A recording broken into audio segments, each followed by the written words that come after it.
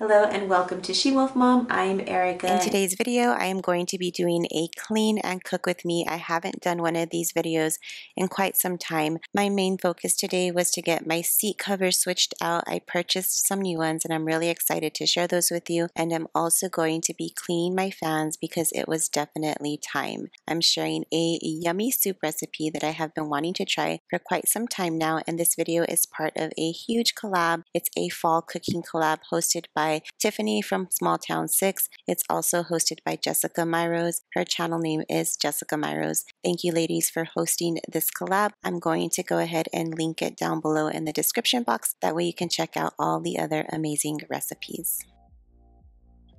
I'm going to start by removing my old seat covers. I'm really excited to try out the new ones. These seat covers are something that I saw floating all over Instagram and I had to give them a try. Uh, my husband did not put up a fight when ordering them because we both really dislike the way the sofas are now. They don't have a perfect fit so they always looked very messy and as you can see these ones are very snug. Um, they wrap around the cushion and each individual cushion has its own cover so I really do like the way they look. They're said to be waterproof. I don't know. We haven't spilled anything on them yet. What I can say is that I'm not too fond of the print on them. I'm not too fond of the shade of gray that they are. I actually ordered another set that tells you something that I do really like them. I ordered a darker shade of gray and I'm hoping that I'll like that better. But for now, we are going to leave these on. I do think that it made a big difference. It looked a lot cleaner, a lot neater. That means that it's less work for me. I was always having to tidy up the seat covers on the sofa and these ones I really do not have to do that. And I've had them on for a good week now and I can say that they've stayed in place. They look just the same as the first day that I put them on. It's going to be one less daily task that I have to deal with. All I'm going to have to do is fluff up my pillows, put away the throw blankets, and my sofa is ready to go. I'll go ahead and link the company down below that I purchased them from. Sometimes it's hard to tell if a company is legit. I one time ordered uh, an appliance off of the internet. Next thing I know, they used my card at an amusement park somewhere on the East Coast. So that was definitely uh, not a fun experience. Luckily, my credit card company caught it, but I can tell you that I have not had that experience with this company at all. I'm now going to be cleaning my ceiling fans and I have not cleaned these since we installed them. I want to say we installed them uh, in spring or before sometime earlier this year and they are black. I love them but um, you can see all of the dust on them and I don't mind that at all. I'd rather see it, that way I can get it cleaned and if I stare at it long enough then it'll bother me and so it was time for me to get this done. The biggest nuisance in this project was that I had to get a ladder. We do have tall ceilings in this house. I'm actually very grateful for them because I feel like my house would feel a lot smaller if we didn't have the tall ceilings. I don't feel as closed in because of it so I, I do love having the tall ceilings. I can tell you that cleaning the fans is is so easy. It takes no time at all. I'm cleaning it with a microfiber cloth. I've found that this is my preferred way of doing it. I have tried other methods, but the microfiber cloth just kind of uh, attracts all of the dust. So I really have to put very minimal effort into doing this. Inside of my spray bottle, that is a recycled spray bottle, I am using a new all-purpose cleaner and it is a natural all-purpose cleaner from Young Living. Um, one of my YouTube friends turned me onto it, and it is the Thieves All Purpose Cleaner. It's the first time that I use it, and I really did like it. I liked the smell, it has kind of a fallish scent to it. I've also been using the Thieves toothpaste.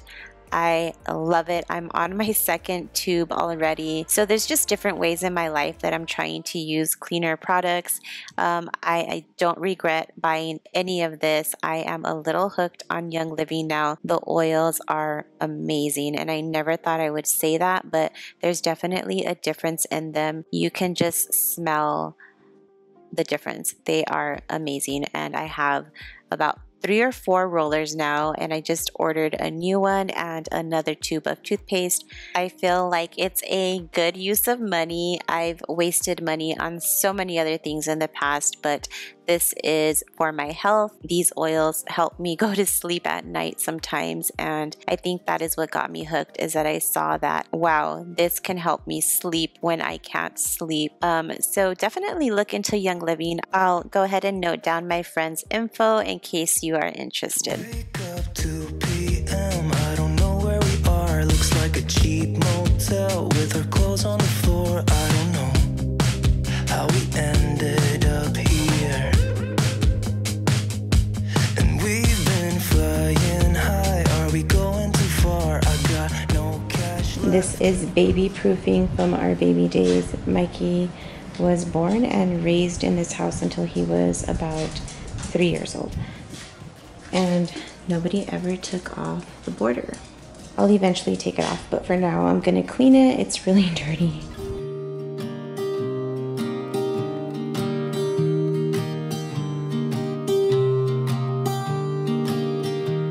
I was never the one to write up a song for just anyone. I I was always the one to find myself lost in long conversations. Oh, cause I've always been told that things will unfold if you keep on waiting. But then you came along and proved me all wrong. I was so mistaken. Cause you glue all the pieces back together.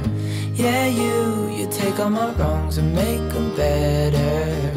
Yeah, you, you're making me wanna try As you all know, I just moved and downsized in the last couple of months and I haven't talked to you about my feelings lately. I do feel back to normal. It's taken me a while to get here. The move, the decluttering, the downsizing was just mentally draining and um, it's taken me a good while to start feeling like myself. I actually have a lot of peace within me and I feel like that's because I own less. I never knew that my clutter, all the things that we owned, were a part of my anxiety, and they really really were. I feel so much peace. I know my husband is in a much peaceful state as well. And that's because we just have so much less to manage. I love that my house is minimal. I'm still working on getting there, but it is a lot more minimal than it was in the past. I don't feel the urge to buy things. I actually don't want to buy things. Um, if I buy something, it's because I have a purpose for it. I put a lot of thought into the things that I bring into my home. Because of that, I'm just at complete peace. I don't feel like I need more. My house needs renovations, and the old me would be so stressed out because I wanted to get them done quickly. And now I'm just like, I can wait. I'm fine. I can wait. I can live with my ugly counters. I can live with my old floor. You might see that baseboard behind me. It's brown. it's not going to be brown in the future, but I'm not letting those type of things bother me because I am at complete and just utter peace. And there's no feeling like it, especially because the way that I'm living is a choice. This is how I want to live my life. And um, when you live life with more intention, it's just really a beautiful thing. So let me know if any of you are considering downsizing, if you are downsizing, if you want to go minimal and simplify your life, and if any of you have done this and can let um, our friends know down below how you feel about it. I think that would be a great help to somebody considering this lifestyle. As I mentioned, this video is part of a cooking collaboration, and I'm going to be making a soup that I have been dying to make for such a long time. I love lasagna. Lasagna is one of my favorite uh, Italian dishes, but I'm going to be making it into a soup. As you can tell, these are all of the ingredients that you would need for lasagna. I looked for a recipe that was simple, and so I definitely got simple. now that I know how to make it, I feel like I would put my own touch on it. I realized that I do not like the taste of parsley, and parsley was definitely a big part of this dish. Give me the cilantro.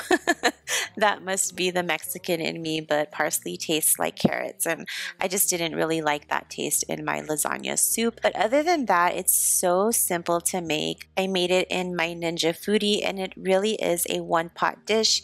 And those are the type of dinners that I've been gravitating towards. I use my Foodi. I use the pressure cooker portion of it just for a few minutes to cook down whatever needs to be cooked down, and I am done. I definitely would try it again. Um, I didn't like the recipe that I used, but I definitely would try it again with my own touch. Um, I'll go ahead and note down the recipe down below in the description box in case you are looking for a recipe. I'm going to be making my own broth, and that's what you see me doing here. It called for broth, and I figured I would make my own. I don't know if you've ever tried this beef broth, but it is so, so good. So that is why I just didn't buy any. I decided to make my own. It was just easy, simple, add water, add the broth, um, no biggie. Next thing I'm going to do is pour in my spaghetti sauce. I did not make it from scratch. I'm sure you can definitely do it from scratch and it would taste so much better. But this was just a quick dish for me and so I did not go that far. Um, once I give it a good mix, I'm going to put in some bay leaves, I honestly never cook with bay leaves, but um, I decided to just kind of follow the recipe as best as I could. Now what I'm going to do is break up the lasagna noodles into the soup. Then I will close my pot and cook it for three minutes using the pressure cooker.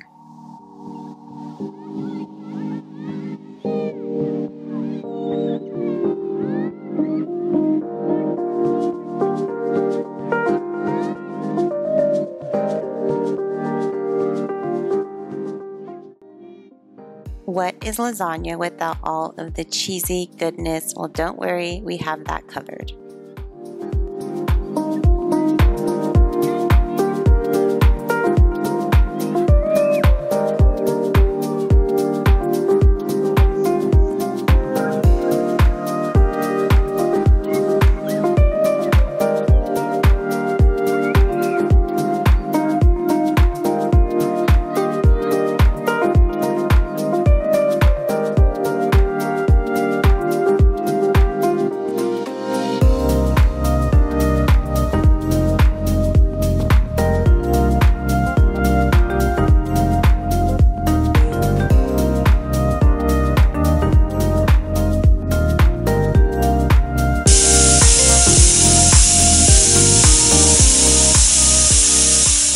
If you don't have a pressure cooker or a crock pot, you can definitely make this recipe on a stove easily. So don't let that stop you from making it.